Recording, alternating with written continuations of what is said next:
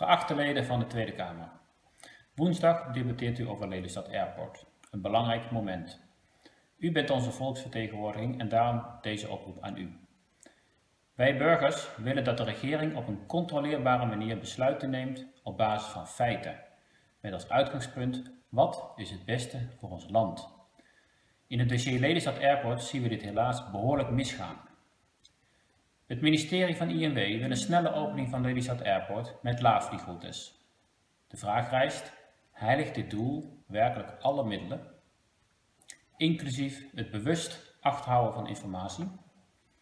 Zo is een kritisch rapport van SAO uit 2008, gemaakt in opdracht van het ministerie, niet gedeeld met de Kamer. In dat rapport al de waarschuwing dat de door de Kamer gewenste selectiviteit niet haalbaar lijkt. Pas in 2019 komt dit rapport na een herhaald WOP-verzoek boven water. Heiligt het doel het onjuist informeren van burgers en de Tweede Kamer. Zo moesten de geluidsberekeningen uit de MER worden aangepast. En is de MKBA, de economische onderbouwing van Lelystad Airport, foutief en onvolledig gebleken. Lelystad Airport is aan u verkocht als vakantieluchthaven, positief voor de economie. Echter, het omgekeerde blijkt het geval te zijn. Onafhankelijke economen toonden aan dat het beste scenario voor Nederland het niet openstellen van Lelystad Airport is. Ook dit bespreekt u woensdag. Heiligt het doel het terzijde leggen van adviezen van bewoners, belangenorganisaties en experts die niet voor het ministerie werken. Een groot aantal experts op het gebied van vliegprocedures, geluid, natuur, vogels en vliegveiligheid en ultrafijnstof en gezondheid hebben zich bijzonder kritisch uitgelaten over de onderbouwing van het luchthavenbesluit. Veel van hun commentaren zijn volledig genegeerd. Heiligt het doel het negeren van de vele zienswijzen. Bijna 10.000 zienswijzen ingediend door burgers, natuurorganisaties en heel veel gemeenten en provincies.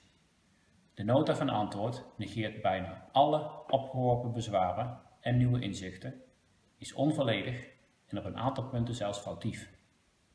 Heiligt het doel werkelijk alle middelen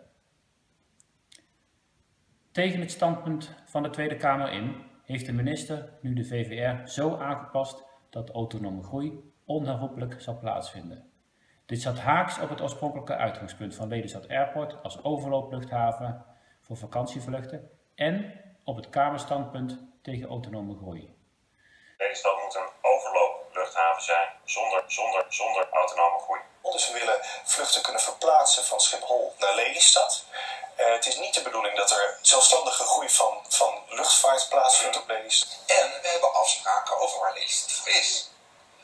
Lelystad heeft geen eigen autonome groeifunctie. Dat hebben we afgesproken. Blijft zo. We hebben in december die motie ondersteund. Geen autonome groei, omdat het CDA altijd gezegd heeft... Lelystad moet een overloopvliegveld worden van Schiphol. Lelystad is bedoeld als een overloophaven uh, van, uh, van Schiphol.